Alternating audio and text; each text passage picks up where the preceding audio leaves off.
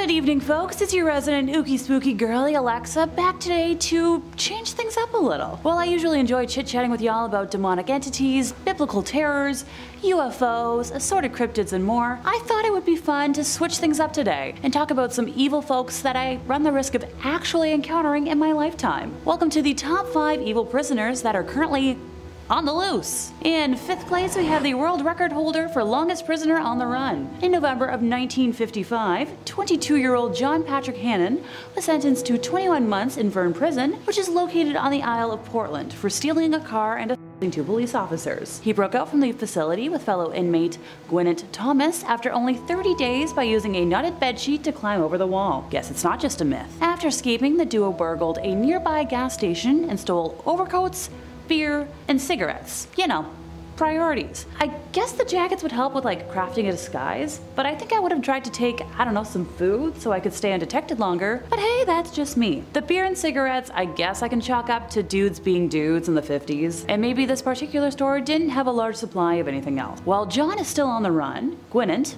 also 22 years old, was found only 16 hours after this daring escape, having been spotted by a truck driver. Now, a hunt for John was held, with the police pulling out all the tools in their arsenal, from police dogs to roadblocks, but he could not be found. A police description at the time said John was 5 foot 7 inches tall, with brown hair, blue eyes, and a proportionate build. Now he's about 68 years old and he's believed to be living somewhere in Ireland. In 1998, Dorset police appealed directly to John to give himself up, writing in a police force newsletter, If you read this, Mr. Hannan, please write in. We'd love to hear from you. And while that sounds fun and all, if caught, John would face a charge of escaping from lawful custody and have to finish the remainder of his sentence. It would then be up to the Home Secretary to decide whether he should be pardoned. So if you're out there listening, whatever you're up to, it's obviously working, and I'd love some tips on how to stay off the grid more myself. In fourth place, we have the only New York State prison escapee who's never been found. Victor Figueroa was supposed to be headed to the mess hall at 10 a.m. on February 6th of 1997, which funny enough happens to be the year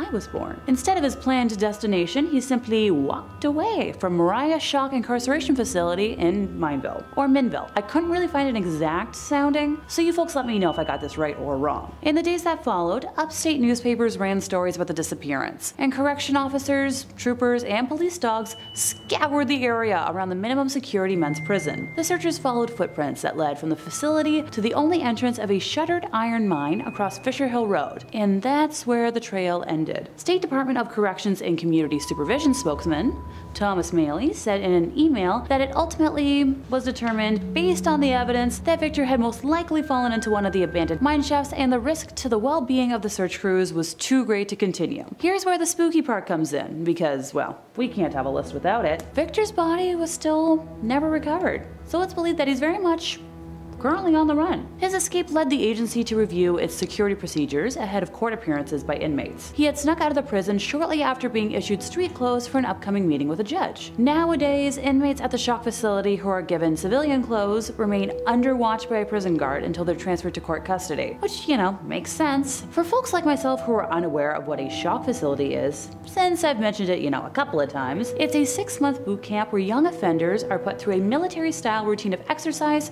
work, education, treatment, and life skills counseling. Successful completion of the program can significantly shorten an inmate's sentence. Victor was serving a one to four year sentence for felony attempted possession and escaped from the facility just three months into his sentence. The 21 year old had been arrested the previous summer by Albany County Sheriff's investigators on an Adirondack Trailways bus leaving Albany for Utica. Investigators had boarded the bus at around 3.40 in the morning on August 1st of 1996 in search of people carrying and Victor was busted with 60 packets of heroin. We don't know much about his personal life, with the 5 foot 5 tall man having no tattoos, a 7th grade education, and no employment at the time of his arrest. In third place, we have Glen Stark Chambers. Before his time in prison, 23 year old Glen was living with his 22 year old girlfriend, waitress Connie Weeks, in Sarasota, Florida. The relationship seems to have not been ideal. In January of 1975, a policeman intervened to prevent Glen from physically attacking Connie on the street during an argument when he already had her hair in his fist. The policeman, who was off duty at the time, arrested Glen on the spot and called for backup to bring him to jail. But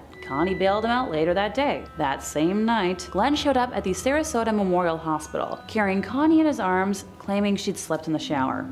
It was a stupid lie, and the doctors and nurses who tended to Connie phoned the police and rightfully so. She passed away in the hospital later that week, and a judge sentenced Glen to the electric chair. The young man attempted to escape prison almost immediately, attacking a guard with two accomplices and managing to climb out a window. This first attempt didn't get very far, with all three men being caught, and a Florida judge added five years to Glen's life term. By 1990, Glen seemed to be turning over a new leaf, with his behavior over those 15 years being described as exemplary, and prison authorities gave him permission to work in a furniture construction shop, designed to give inmates vocational training and a sense of purpose. But to the shock and surprise of no one, Glen had a secret plan. On February 21st of 1990, he slept into one of the boxes of furniture that was set to be shipped off the premises to a warehouse. No one noticed the extra weight as they loaded the crate into a truck, nor did they notice, you know, during the entire drive to Daytona Beach, anything shifting around in the back of the truck, no footsteps, no clunking lids, no sound of the back panel sliding open or dropping shut, but upon arrival,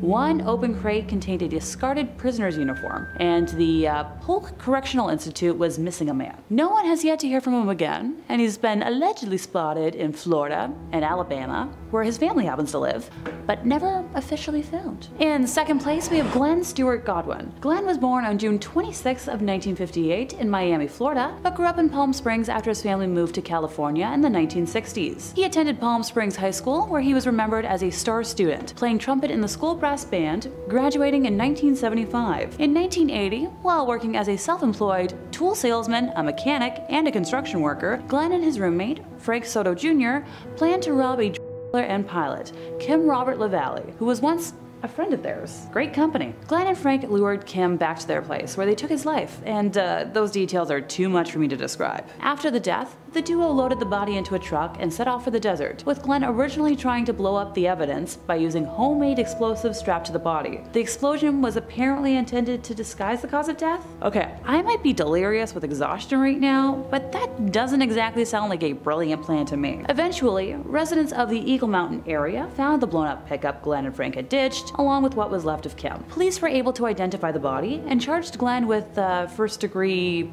death, with a sentence of 26 years to life in prison in 1983. Yeah, totally shocked there. In 1987, Glen attempted to escape during his incarceration at Deuel Vocational Institute in California, and he was moved to Folsom State Prison, a maximum security prison. Authorities believe his wife, Shelley Rose Godwin, and his former cellmate in Deuel, Lorenz Karlik, helped to plan his next escape, which was successful, and the reason I'm chatting about him here today. On June 5th of 1987, he cut a hole through wire fence using a hacksaw and other tools that had been smuggled in for him, and escaped into a storm drain that emptied into the American River. It's believed that Glen dropped through a manhole and crawled 750 feet through the pitch black drain until he reached a raft that an accomplice had left for him, and was guided away by following painted arrows on rocks that directed him where to go. In June of 1987, Lorenz was arrested in Hesperia, California, and convicted for aiding Glen's escape. He had previously been arrested after a foot chase with deputies from the Los Angeles County Sheriff's Department. He was convicted in January 2002 of eight charges related to that pursuit, and in January of 1988, Shelley Godwin was classified as a federal fugitive for her role in her husband's escape, and was captured by the FBI in Dallas, Texas on February 7th of 1990. Now, unlike some of the other folks on this list, we actually have an idea of where Glen might be. Originally fleeing to Mexico Mexico, he unsuccessfully participated in the illegal trade before being arrested in Puerto Vallarta and convicted for trafficking in Guadalajara, Mexico, sentenced to seven years and six months to Puente Grande prison in 1991. While American authorities were working on Glen's extradition proceedings, he allegedly ended the life of a member of a Mexican cartel in prison. The new death allegation delayed his extradition, which gave Glen more time to execute another escape, which occurred in September of 1991. Geez, was he a student of Houdini or something? Glen is currently believed to be somewhere in Latin America, having possibly used aliases such as Dennis Harold McWilliams, Nigel Lopez, and Miguel Carrera. He is considered to be armed and extremely dangerous and an, you know, obvious flight risk. The FBI is offering a reward of up to $20,000 for information leading to his capture, if anyone out there feels like, you know, trying to hunt him down. And finally, in first place, we have Vassilis Palaiokostas. He grew up in a small village in the mountains in central Greece, and is believed to have planned the kidnapping of Georgios Milonas, a Greek industrialist, as the ransom paid was traced back to uh, our man here. In 2000, he was sentenced to 25 years in prison for the 1995 kidnapping of Alexander Haitoglou, the CEO of Haitoglou Bros, I'm so sorry, which he orchestrated with his brother Nikos, who is currently serving out the rest of his own sentence under house arrest due to his poor health. His first attempt to escape took place on Sunday, June 4th of 2006, when two accomplices hired a trip on a sightseeing helicopter from Agios Kosmas, a coastal suburb of Athens, and hijacked the helicopter, forcing the pilot to fly to the prison. When the helicopter arrived, guards believed the helicopter was a visit from prison inspectors, so the helicopter was able to fly the prisoners out to a cemetery nearby where they transferred to motorcycles and fled from there. Vassilis was recaptured two years later on August 2nd, 2008 in Thessaloniki. Don't worry, I'm not gonna leave y'all without the details of the better escape. On Sunday, February 22nd of 2009, Vassilis again escaped from Athens' Korydallos prison by helicopter. I'm sensing a theme here, but hey, if it works, it works. He and his cellmate, Alket Rizaj, climbed a rope ladder thrown to them by a female passenger in the helicopter as it flew over the prison courtyard. Police said an elderly couple found the helicopter abandoned in the Athenian suburb of Kapandriti near a highway north of Athens, with its fuel tank leaking and the pilot left behind, bound and gagged, with a hood over his head. He told the police the helicopter was chartered by a couple who claimed they wanted to go from the town of Itea in central Greece to Athens. The couple had chartered the helicopter a number of times in previous weeks, with the woman posing as a businesswoman. According to the pilot, who claimed to have been forced into taking part in the escape, Vassilis and Alket were delivered to a getaway car, and that's all he knew. The government of Greece faced intense criticism after his second escape from this same facility, and the government responded by firing three Justice Ministry officials and arresting three prison guards.